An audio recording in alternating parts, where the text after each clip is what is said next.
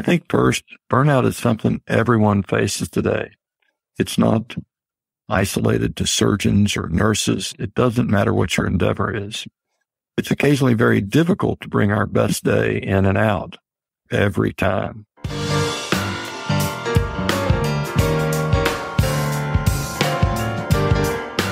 What are warning signs a physician may be experiencing Dr. Burnout? How are some nonprofits affected by Dr. Burnout? What can members of the CHD community do to try to reduce Dr. Burnout? Welcome to Heart to Heart with Anna. I am Anna Jaworski and the mother of an adult with a single ventricle heart. That's the reason I am the host of your program. I'm really excited to have Dr. John Calhoon on Heart to Heart with Anna today. Today's show is Dr. John Calhoon on Dr. Burnout in the CHD community. Dr. Calhoon is both a congenital and adult cardiac surgeon and was my heart warrior surgeon. He also wrote the foreword for my first book, Hypoplastic Left Heart Syndrome, a handbook for parents. Dr. Calhoon is the professor and founding chair of the Department of Cardiothoracic Surgery at the University of Texas Health Science Center and is also the director of the Congenital Heart Center in San Antonio, a partnership of UHS and UTH. Over the years, his interests and expertise have included complex congenital heart surgery, heart and lung transplantation, less invasive cardiac surgery, and improving education and patient care. He has served as a president of many national cardiac associations and is currently president of the Society of Thoracic Surgeons, the largest heart and lung specialty organization in the world. He helped found HeartGift San Antonio, an organization that sponsors charitable, life-saving congenital heart repair on kids from around the globe. Dr. Calhoon is married to his wife Sarah, and together they have four children, Satchel, Stetson, Seve, and James. Welcome to Heart to Heart with Anna, Dr. Calhoon. Anna, so, so great of you to have me. I'm looking forward to our time. Me too. This is long overdue. Well, let's start by identifying exactly what Dr. Burnout is and what some of the warning signs are. Thank you. I think first, burnout is something everyone faces today. It's not isolated to surgeons or nurses. It doesn't matter what your endeavor is. It's occasionally very difficult to bring our best day in and out every time. However, several changes in our lives seem to be making this even more prevalent. One is the mm-hmm. isolation the pandemic has caused. Another is the decreasing socialization that's been facilitated by increasing nonverbal communication. You know the problems Twitter, Facebook, texting, email, you name it. Mm-hmm. Finally, a big issue that derives from this is the ever increasing loss of filter that's allows. People criticize people because it's no longer face to face.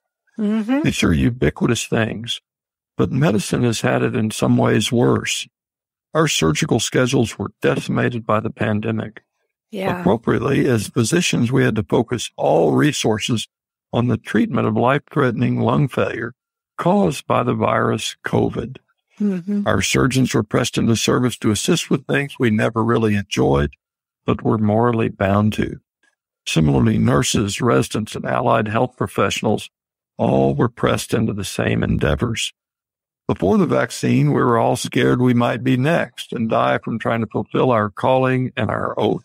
Mm-hmm. It affected everyone in medicine. So many difficult decisions.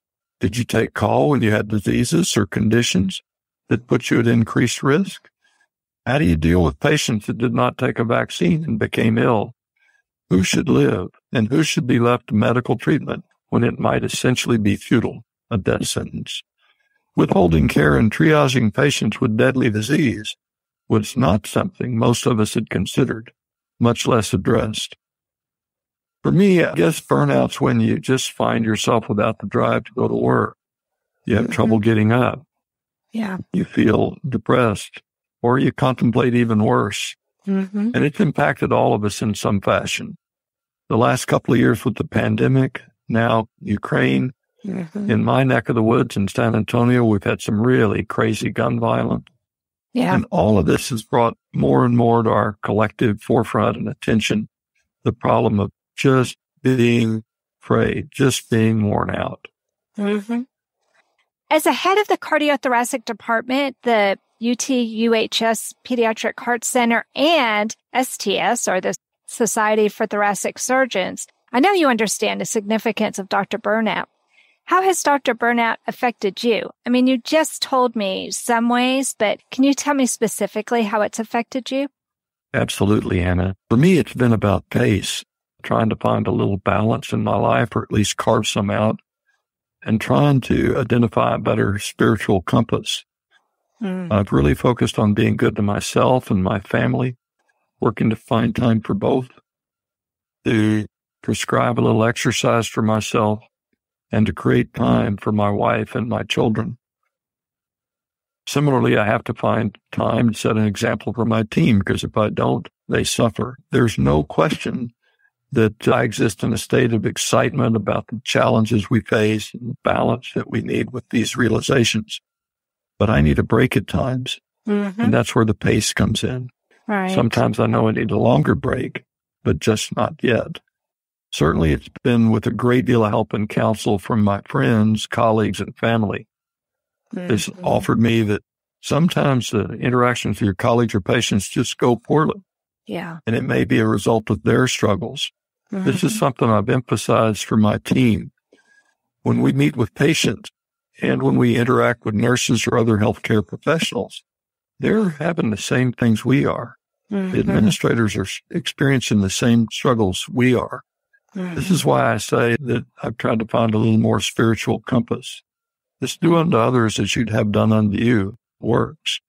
And thinking about the other person's problems as you are trying to address your own is something that's helped me and I think helped our team. Well, I've always been impressed with how cohesive your team is.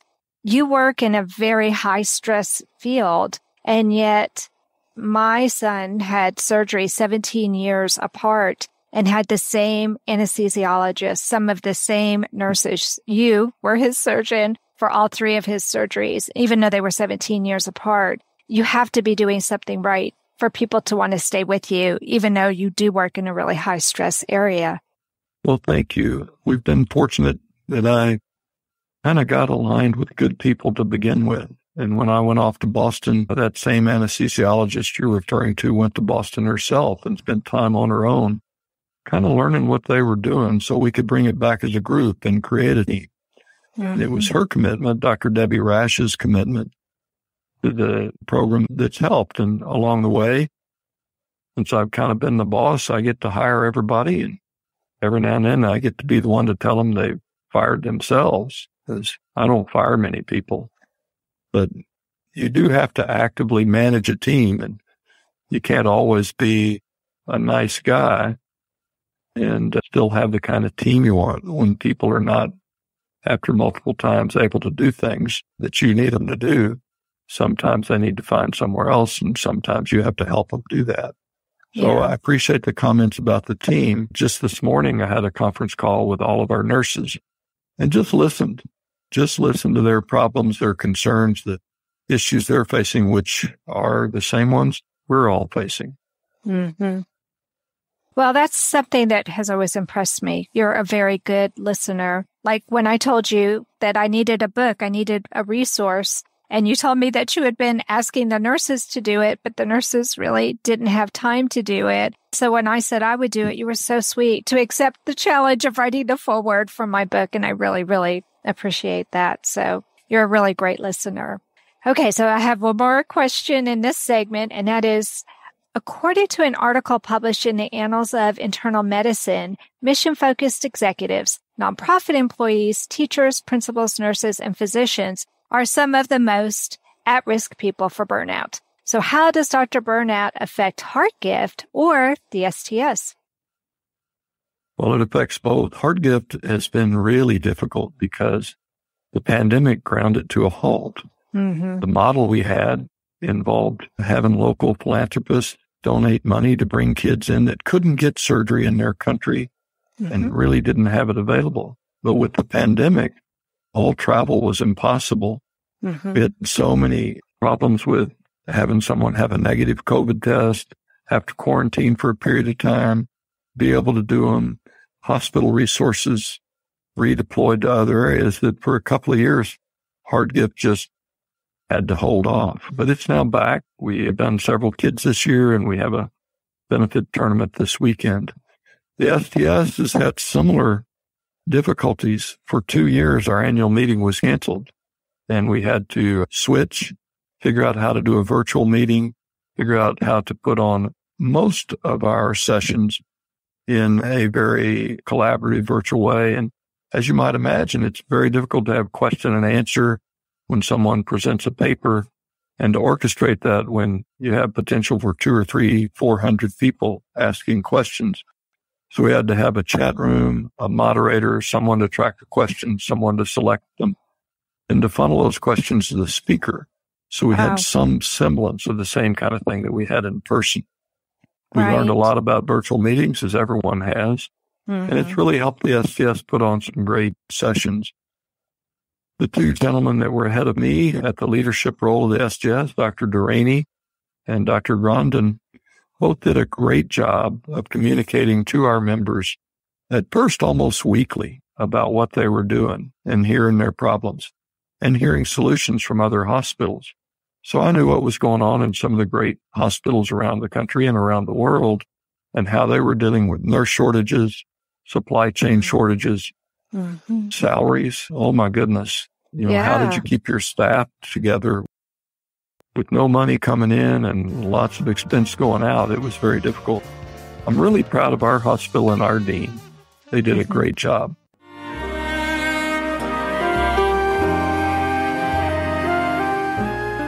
Home Tonight Forever by the Baby Blue Sound Collective.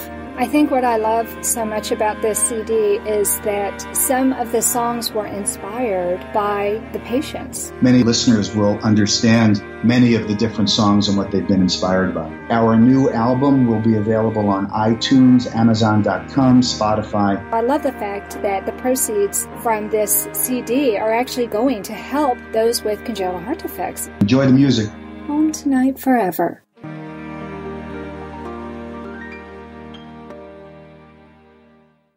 This content is not intended to be a substitute for professional medical advice, diagnosis, or treatment. The opinions expressed in the podcast are not those of Hearts Unite the Globe, but of the hosts and guests, and are intended to spark discussion about issues pertaining to congenital heart disease or bereavement. You are listening to Heart to Heart with Anna. If you have a question or comment that you would like addressed on our show, please send an email to Anna Jaworski at anna at hearttoheartwithanna.com. That's Anna at hearttoheartwithanna.com. Now, back to Heart to Heart with Anna. Dr. Calhoon, do you feel that there are any personal qualities that attract medical professionals to the cardiac surgical field that might also make them at risk for burnout? I'm sure that's very true, Anna. Unfortunately, my colleagues and I are all just a little bit crazy, some of them more than others, but it's really crazy. During the pandemic, for much of it, I was on call every night. I didn't have a partner. I was available all the time. Oh, wow. And that 24 7 commitment to your practice is fatiguing in and of itself. And all cardiac surgeons, we don't go on strike. We don't not come in. We're professionals. And so when somebody's sick, what you thought you were going to do is not what you're going to do if you're committed to your profession. Mm-hmm. It's a little different.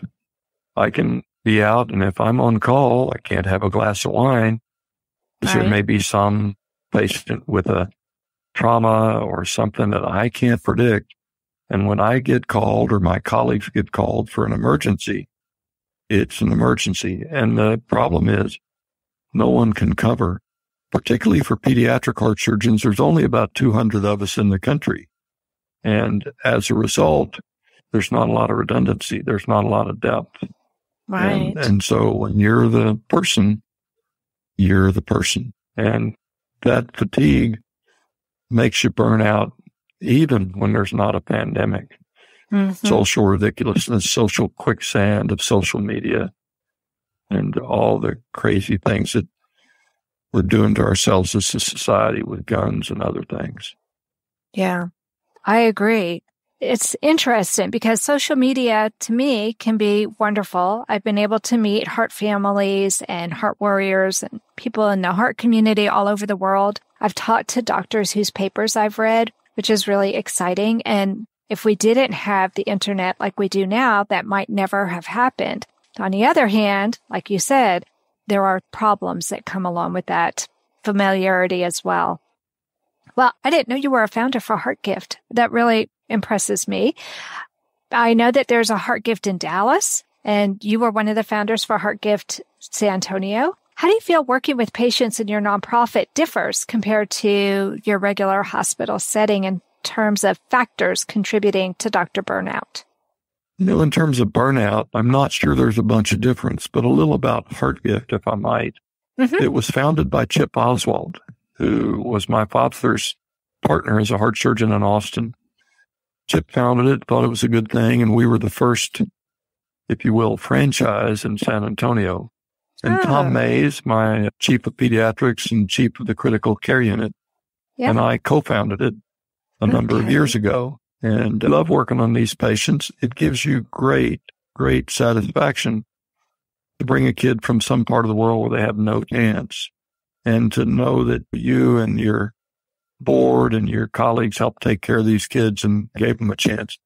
Probably the most compelling thing that happened is we've had some children from parts of the world where they've been told that Americans are infidels, that mm-hmm. don't go there. They're going to put your child to sleep and cut their organs out and abandon you and put you in jail. And the tears that are on the mom or pop's eyes when you give them their kid back well and don't ask for a penny. Mm-hmm. And the goodwill that goes to America from the people they touch when they go back to areas of the world that have been fed lies about what America is about makes it very rewarding and to forget about burnout for a few minutes. Yeah. Yeah. I can see where your passion for what you do really has a chance to come through there in a way that's different than your regular patients might be because really what you are is an answer to prayer for so many of those people. Their children would have had no hope if it were not for you and for HeartGift. So I can see where that would be really, really rewarding. It really is. Is it the same with HeartGift that it is with some of these other organizations where not only do the doctors volunteer their time and their expertise and their talents, but they also end up having to pay to go where they need to go to help the children or all of the children just flown to San Antonio. So you, most of the people who help you or who are mm. part of your team are right there in San Antonio anyway. We haven't quite made the switch in San Antonio, but I know that the HeartGift umbrella organization that Dr. Oswalt founded is beginning to look at that.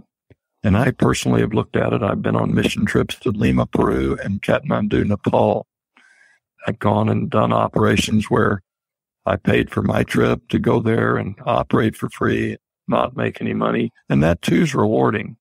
But I do think that HeartGift over the next few years will begin to further leverage what we can do by sending more teams out to try and help teams develop in other countries. The problem with it is sustainability.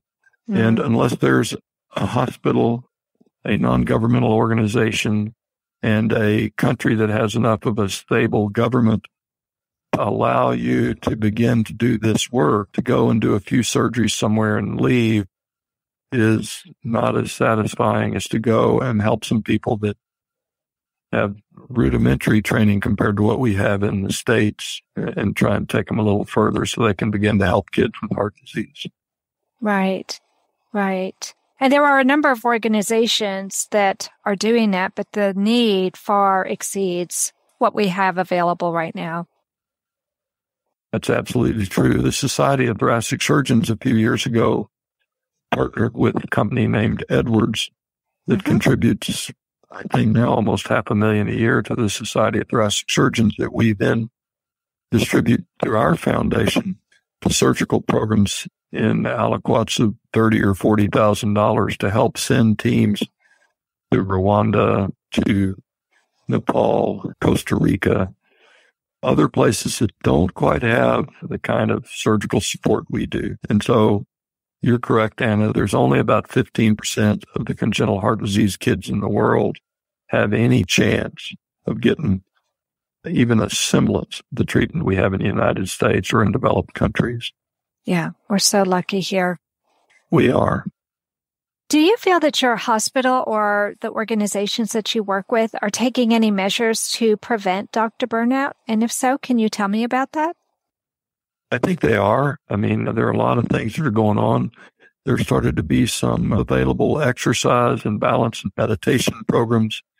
There's a great deal of education going on so that the leaders and the rest of the faculty begin to see the signs of it and that each other looks and kind of keeps an eye on signs of it in their colleagues. If somebody's getting a little short or they seem like they're tired all the time or they're just not happy or, you know, they're missing days of work, then we know to intervene and we know to send them home, have them take a day or two off and we'll figure out ways to cover them. So I think absolutely we're all doing that, whether it's University Hospital or UT Health or any of the other facilities in town.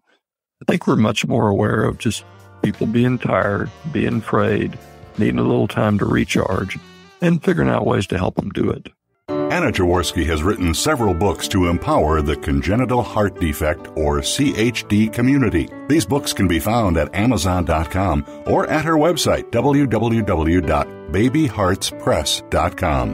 Her bestseller is The Heart of a Mother, an anthology of stories written by women for women in the CHD community. Anna's other books, My Brother Needs an Operation, The Heart of a Father, and Hypoplastic Left Heart Syndrome, a handbook for parents, will help you understand that you are not alone. Visit babyheartspress.com to find out more.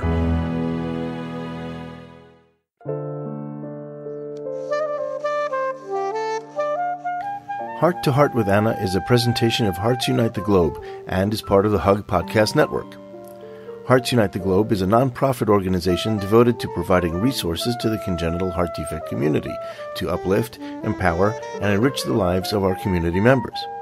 If you would like access to free resources pertaining to the CHD community, please visit our website at www.congenitalheartdefects.com for information about CHD, the hospitals that treat children with CHD, summer camps for CHD survivors, and much, much more.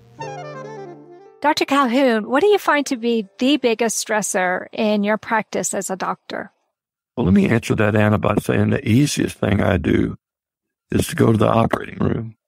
Mm. It's my hmm. happy place. I've heard that from so many surgeons. They all say that, that that's their happy place. Yeah. Well, it is. It's the place I go where the team's there. They're all there because they either like me or they like what happens or they tolerate me. I don't know, but it's just an enjoyable place to be. Mm-hmm. And we leave with a great sense of fulfillment.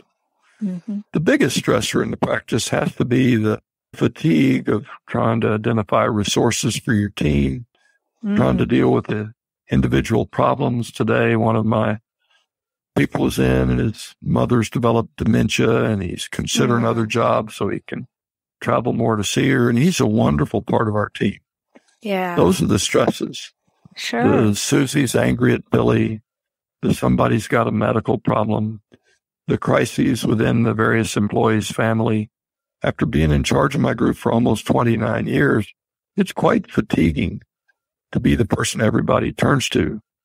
And on the flip side, it's quite rewarding to be that person and to be able from time to time to help with those problems and feel like you've maybe made somebody's life a bit better. It's almost like you have this huge extended family.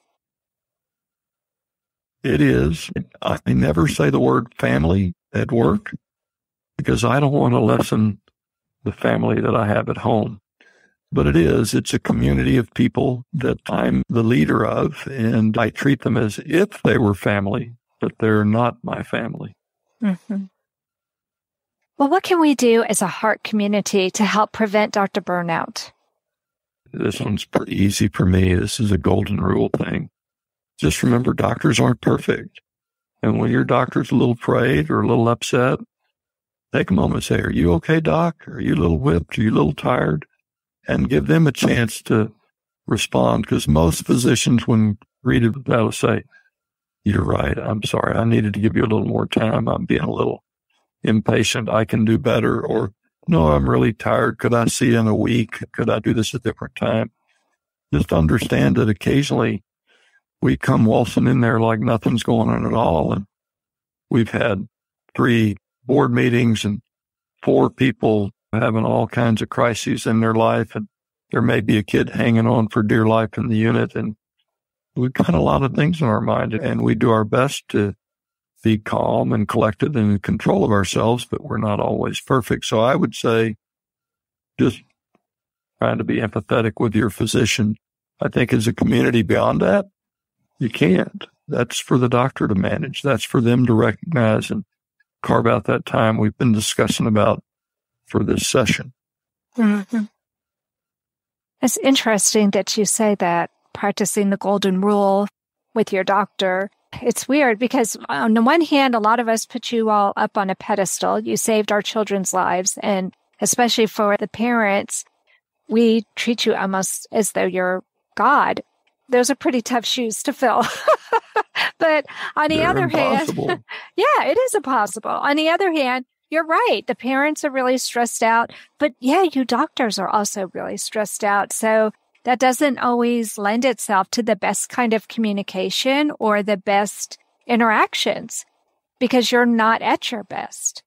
And with this pandemic, I'm sure it's been even worse because at least when I was in the hospital with my baby 28 years ago, my husband could be there by my side. My mother and father could be there. My sister could be there. And during the pandemic, you weren't allowed to have anyone. All correct. I think, Anna, that people need to recognize that physicians, nurses, other healthcare providers are not a deity. We're just like them. We're human. And we have our failings and shortcomings, and we don't always have a perfect day. Right. But if somebody can take a deep breath and give their physician or healthcare provider a chance to rebound, they may find that they do have the right physician and maybe that physician was having a bad moment. And for me as a physician, when I have bad moments and I have them, nothing's better than somebody saying, Hey, doc, looks like you're having a rough go. Do you take a deep breath? And we talk about this in a minute. Doesn't happen often. I'm pretty good at this now, but I do recognize when I'm getting tired and do recognize when others are tired and things are escalating and they just need to de-escalate. And again, trying to be a little more spiritual, trying to have a little more golden rule in you, you have to presume that everybody has virtuous intent. Yes. That doesn't mean that everything comes out of your mouth is virtuous. Right. But the intent is there. You wouldn't be a doctor if you didn't want to do good for others. Absolutely. Well, you've been practicing as a doctor for decades. How has the medical community changed in their treatment of Dr. Burnout? You've seen the field of pediatric cardiology change. And so I'm sure you've seen the way the medical field treats Dr. Burnout change over the years too. I think that burnout's a relatively new term, but fatigue, practicing when you're too tired, staying up too many hours are all things that the profession has addressed, particularly in the educational arena, although it's beginning to occur in the practice arena. In the educational arena, where I've had a lot of leadership roles over the last two and a half decades, we've created work hours for residents where they can work so many hours. They can be up so many hours. They can take so much call. When I was an intern, I was on call every other night and up all night every other night for five months. And there were two or three times where I was up all night, two nights in a row. And it was dangerous. I looked at yeah. some of the notes I wrote on the second night and I couldn't read them. I don't know what I was thinking. Well, we fixed that. And so we're not letting people practice when they're too tired to practice. And my partners and I have fixed it because if I get called in tonight and I'm up all night and I have a case the next day, I just tell them, Hey, I'm taking a nap. I'm not doing that case until I've had my nap. We're going to start at 10 or 11. We're not starting at 7 mm-hmm. And, and those are things we can do to affect the physical part of just being too tired to work. Mm-hmm. But it's part and parcel of the burnout thing too, which is doing that too many times in a row, trying to bring your best game too many times in a row, and you're just bombarded with this problem and that problem and this problem and that problem, and you can't seem to get done with your day, and your day runs into your night. We've begun to realize that that actually does create burnout and people actually do want to retire or seek something else. We haven't yeah. really addressed the electronic medical record. It's been mm. a boon. It's been wonderful. It allows us to codify the patient's problems and collate them in a way we never could before and get a hold of them easy. But at the same time, it's like we were laughing for this podcast. You're having to find how to do a software, mm-hmm. figure out how to deal with this particular thing and play this particular computer program's game mm-hmm. to create a record that someone can read and use. So we've learned the things that cause burnout. We've begun to address them. We'll never get done because being a physician is a profession and being a profession means that occasionally you have to get up when you're tired and come to work and do your best. Right. Wow. It's interesting what you said about the medical record because my husband is a nurse and they decided to start using Epic at his hospital. And it was not a quick transition. It was a slow transition. And the way that it's used for one department may not work well for another department. The coding is not necessarily transferable. So they had different volunteers who offered to help work with the software company so that it would be as seamless as possible to have them transition. And Frank actually volunteered because he was not good with computers. He said, if you can help me to do this so that I understand it, then I'll be able to help others. And he said, I'll be one of the worst ones working with the program. And it was a real challenge for him. And it was a real challenge, especially for any of the older nurses that he worked with because it was so different than the way they had been doing things previously.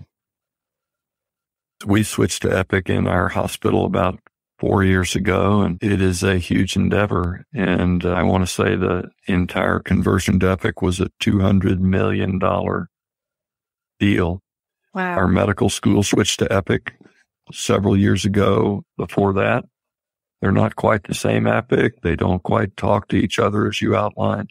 Mm. And again, 150, 200 million dollar rollout. It's very well orchestrated, but it is very fatiguing. And yeah. Epic itself is great for many things, but not necessarily great for the physician wanting to write a quick note. Exactly. Exactly. And mistakes are made. Silly kind of mistakes can be made. For example, one of my doctor prescribed some medicine for me. And when I got to the pharmacy, the pharmacist came forward and said, this can't be right because it was a medicine that started with the same letter. And I think it was the medicine right above the one that my doctor wanted for me to have, but the one that mm-hmm. was written was for men. so it clearly was not for me. And it required, well, it was not going to help me with my problem. And I think it's just little things like that, though, that can be frustrating when the wrong medicine is prescribed or things just don't go according to plan. It would have been so much easier just to scribble on a notepad what the medicine was and for me to take it into the pharmacy like we used to do. Things are really different now. I would agree. I would say that electronic medical records on balance have been a great advantage to healthcare. But teaching old dogs new tricks is never easy and getting them to do it right is never easy. And to your point, Epic prompts you. And so if you type in the first three letters and aren't paying attention, it's no different than spell check or your mm-hmm. iPhone typing something up for you and anticipating what the word you were putting in is. And if you're not paying attention, it'll put in the wrong word. Right. Yeah. Well, this has been very informative. Thank you so much for coming on the program today, Dr. Calhoon. And I had a great time. It's good to catch up with you. And thanks for all you've done to help the kids and their families with heart disease. It's been something that's been needed and it's a resource that everyone benefits from. Oh, thank you so much for saying that. I don't know if I would have been brave enough to do it without your help. So it's been definitely a great time for me to have gotten to know you and the other people that worked with you. Your team has been wonderful. And because you saved my child's life, I felt like God gave me Alexander and a mission, and that mission was to help others. So it's all because of you.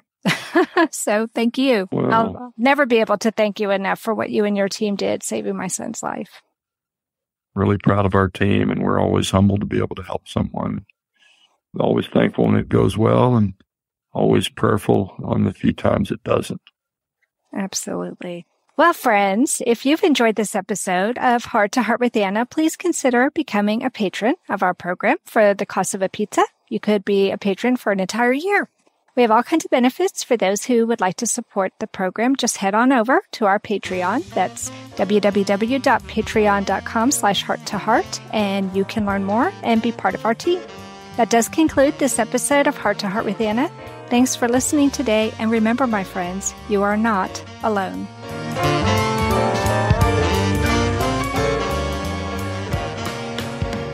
Thank you again for joining us this week. We hope you have become inspired and empowered to become an advocate for the congenital heart community.